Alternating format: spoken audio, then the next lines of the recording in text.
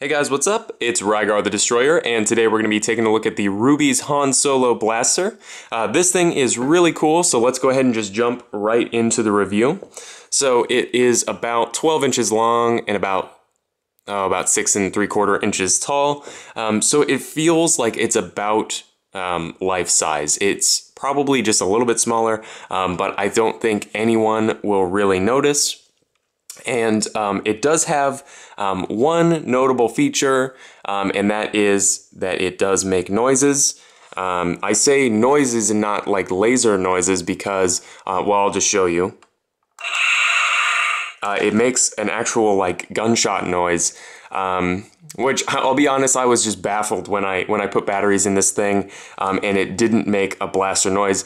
Seeing as this is an actual licensed product, I figured that they would be able to do that. However, Rubie's cheaped out and just did, you know, a cheap sound card and little tinny speaker uh, that they had probably already used in other toys. Uh, to be honest, though, I don't care at all. Um, I will probably never have batteries in this again. Um, I frankly only put batteries in um, for the review. So, obviously, um, this thing is kind of a, a, a cheap costume piece. It's meant for Halloween. And so that's why it's got this, you know, ridiculous orange and white paint job, you know, and it's not particularly well put together. I'll kind of show you.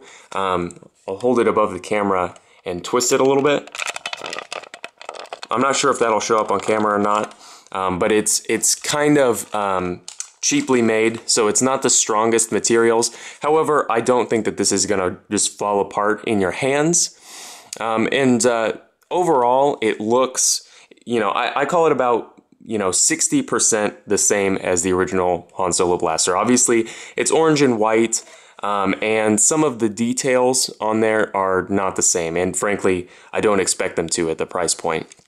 Um, probably the biggest thing that's a giveaway on this thing is the scope. So it doesn't, it's not like a separate piece um, from the shell, it's all one piece, um, and it's it's actually sculpted where it intersects the barrel here. So that's not accurate to the original um, prop piece.